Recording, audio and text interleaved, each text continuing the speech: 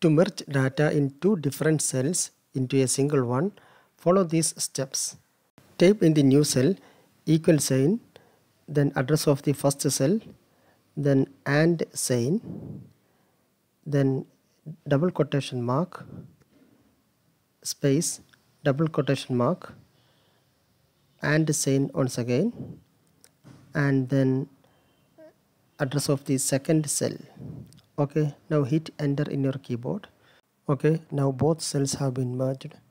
To do the same with other cells drag the first cell to downwards.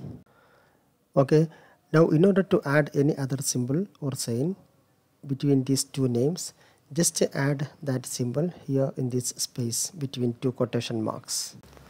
Then hit enter key in your keyboard. Just drag the first cell to downwards.